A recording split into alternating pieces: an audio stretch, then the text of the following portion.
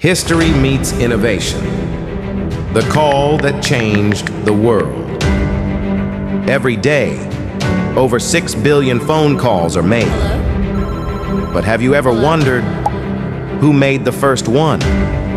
This is the story of the call that changed the world. A street corner in New York, a device the size of a brick, and a rivalry that would define the future. But the mobile phone didn't start with a call. It started with an idea and a dream. Martin Cooper was born in 1928, the son of Ukrainian immigrants growing up in the windy city of Chicago. Even as a child, his curiosity was electric. He took radios apart just to see how they worked. After serving in the Navy during the Korean War, Cooper earned his degree in electrical engineering. In the 1950s, he joined a young tech company called Motorola, a place filled with possibilities and the hum of invention. Back then, phones were tied to the wall, heavy, unmoving, controlled, but Martin Cooper? He believed communication should be free. It should move with you. Across the country, another tech giant was racing to the future. Bell Labs. Led by Joel Engel, they had government funding, massive infrastructure, and a plan to dominate wireless communication. Motorola, they were the underdog. Smaller, scrappier, hungrier. Cooper knew if Bell got there first, the future of mobile would be locked in cars, tethered, limited. So he made a bold decision.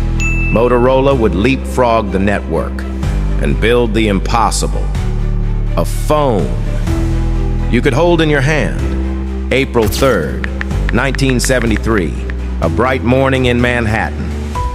Martin Cooper steps onto the sidewalk, holding a strange, bulky device 2.5 pounds of circuits and vision, the Motorola Dynatac. He dials, not a reporter, not his boss.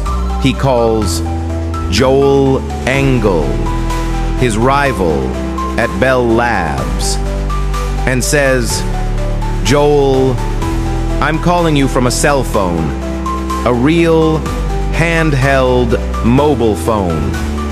That call didn't just work, it made history. It would take another 10 years to reach the public. In 1983, Motorola released the Dynatac 8000X.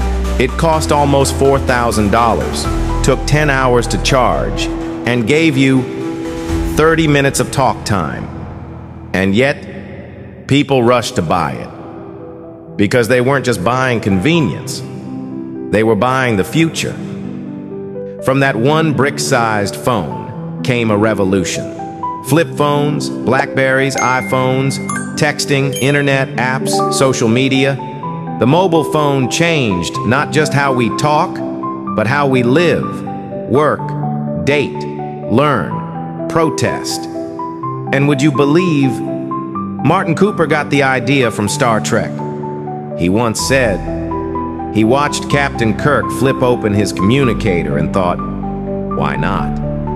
Martin Cooper is now in his 90s, and he still believes that mobile technology can change the world for the better.